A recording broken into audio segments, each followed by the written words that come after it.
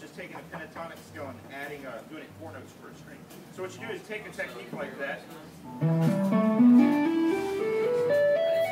The idea of this, even using the right hand, even if you're not a tapper, is to make it sound like you have really long left hand fingers instead of. Right. You know, stay away from that, of course, but.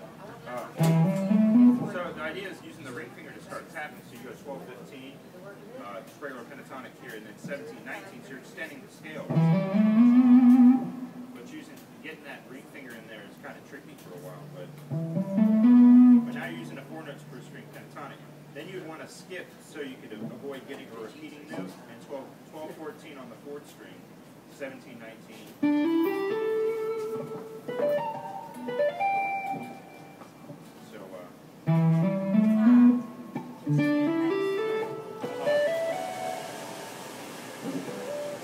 So you're just skipping strings every time. Yeah, I'm so- only playing sixth, fourth, and second string. Right, okay. Right? Yep.